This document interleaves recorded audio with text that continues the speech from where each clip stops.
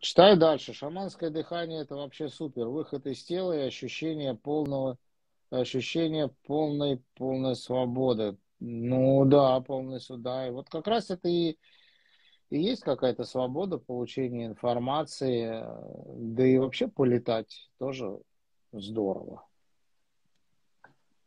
Да, и вот интересно добавить, что при начале обучения вопросы такие вот были как-то об, однообразные, такие вот, ну, общие, общего интереса, такие вот, там, как, да, что, во сколько, там, как, с чего начнем. А в процессе уже обучения, уже, да, действительно, там уже появились много, масса вопросов именно по обучению уже, да, действительно, уже конкретных таких. То есть приходит понимание вот это вот, и то есть у тебя начинается больше и больше, больше и больше вопросов.